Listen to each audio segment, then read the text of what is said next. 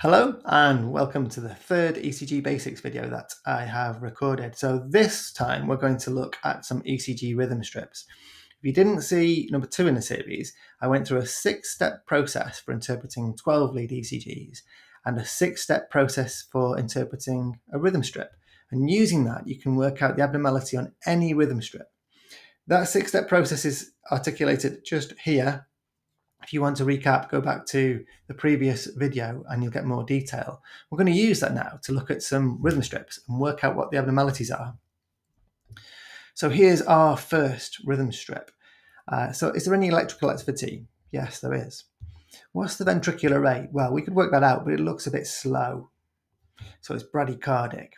Is the QRS rate regular or irregular? Well, let's have a little look at that. So we start across here and we seem to be plodding along nice and regularly here.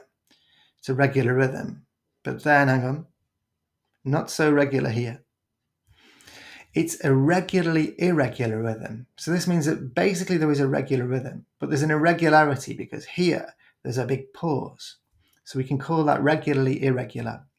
Is a QRS complex narrow or broad? Well, it's narrow. Is there any atrial activity? Yes. We can see some P waves. So here you can see a P wave. Here you can see a P wave.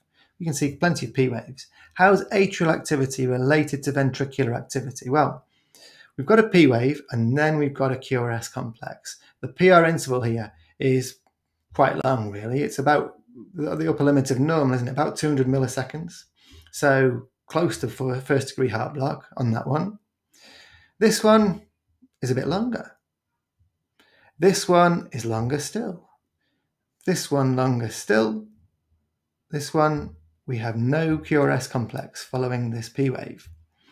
And then we have a P wave and a QRS complex. So we've got a progressively lengthening PR interval until we drop a beat. And that is characteristic of the Wenckebach phenomenon. So that is a second degree heart block because we're dropping some beats and conducting others. And it's Mobitz type 1. So it's not quite as bad as Mobitz type 2 generally, not quite as risky of progression to third degree heart block. And sometimes even athletes will get Wenckebach heart block when they have a high vagal tone. Moving on, let's look at another ECG. So we've got electrical activity, it's a bit slow. It's not regular. So is it regularly irregular or irregularly irregular? Now we probably need a longer rhythm strip to be sure. But you know, we've got a basic rhythm here. One, two, one, two. They're going at the same rate, so that could be seen as, as regular. But we have these irregularities because we've got a long pause there, and then at the other side we've got a long pause just here. So it's regularly irregular. There's a broad QRS complex. Okay, we'll come back to that later when we, we look at the 12 lead ECG to try and explain it. Is there any atrial activity? Yes. I can see a P wave here. I can't see a QRS complex after it. See a P wave and then a QRS complex, and it's got a normal PR interval. P wave, QRS complex, normal PR interval. P wave, nothing. P wave, nothing. P wave, QRS complex, normal PR interval, and then the same again. So we've got a, a P waves followed by QRS complexes with a normal PR interval that's just fixed. It doesn't seem to progressively lengthen. And then we've got some dropped beats where there's a P wave and no QRS complex. So this is second degree heart block. Uh, just to bring that up, there you go, you can see it a bit more clearly. Second degree heart block. So we know that because some beats are conducting, some beats aren't. And it's Mobitz type 2 because we've got a constant PR interval, but then some beats are dropped.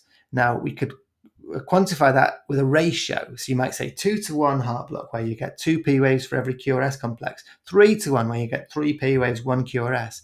Here we've actually got 8 to 5. On this screen, you can see 8 P waves and 5 QRS complexes. That would be an 8 to 5 ratio, but you might need a longer rhythm strip to really work out that ratio. Moving on, let's have a look at this one. This one's got electrical activity. It's very, very slow. It's regular. The QRS rhythm is definitely regular. Uh, there's narrow complex. There's atrial activity, but how is it related to the ventricular activity? So let's uh, have a little look at this one, bring it up now. So what have we got here? P wave, massive PR interval, and then a QRS complex, okay? P wave in what looks like a normal PR interval. P wave, huge QR, PR interval here. Hang on a minute. P wave seems to be buried in the ST segment, big PR segment, P wave buried in the T wave. It's completely and utterly erratic. This is complete heart block. There's no relationship between those P waves and the QRS complexes. Now, sometimes it would look like there is, because by coincidence you have a PR and uh, P wave just before the QRS complex, but there's no relationship. And in fact, if you were to use a piece of paper and go along and put a little mark next to two P waves and then move it along the P waves, you will see that there's a regular P wave rhythm. And then you do the same for the QRS uh, complexes. You see there's a regular QRS rhythm the QRS complexes are coming slower than the P waves, and there's no relationship between them. Independent rhythms. It's complete heart block.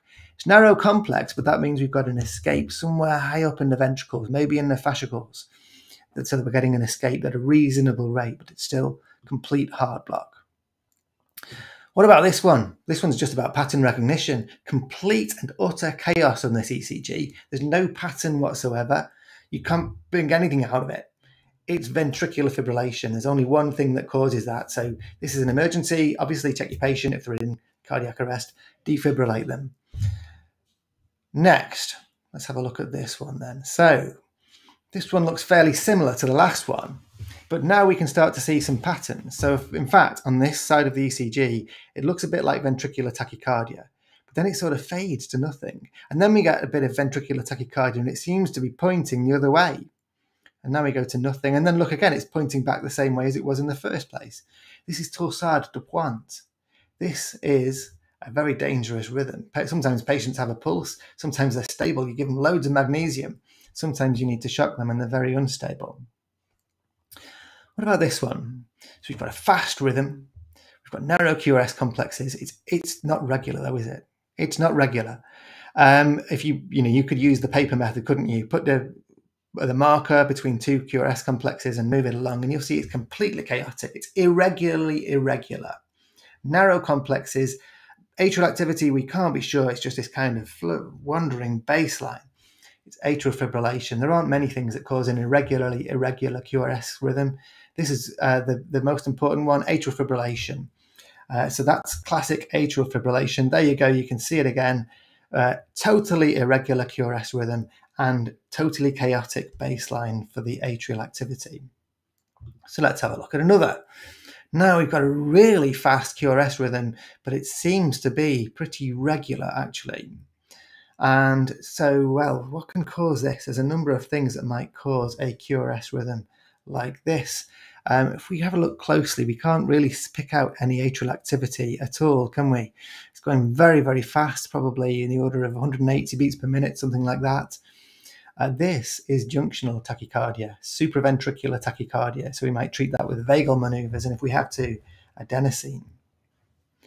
What about this one now? So let's have a look at this. This is another fast rhythm.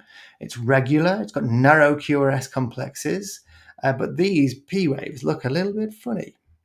Uh, it, doesn't it look like a sawtooth, the tooth of a saw? And you can see that before this QRS complex, and you've got a QRS complex. You've got a funny shaped T wave that looks almost like a sawtooth wave, and then another sawtooth wave. It's a regular rhythm. It's atrial flutter, and it's three to one atrial flutter. So technically, uh, typically you get 300 beats per minute with your atria, flutter going round and round the atria. One will conduct, one's buried in the QRS complex, one's buried in the T wave, the next one conducts. That's three to one atrial flutter. So that's it from me for today. You can see a sneak preview there of what I'm going to cover next time, which is the axis. Uh, but today we've talked through some rhythm strip common abnormalities using, and we've interpreted them using our six-step process. And as I said, it will interpret any abnormality on a rhythm strip, just as it did just now. I hope you, you valued this one. Look forward to seeing you next time.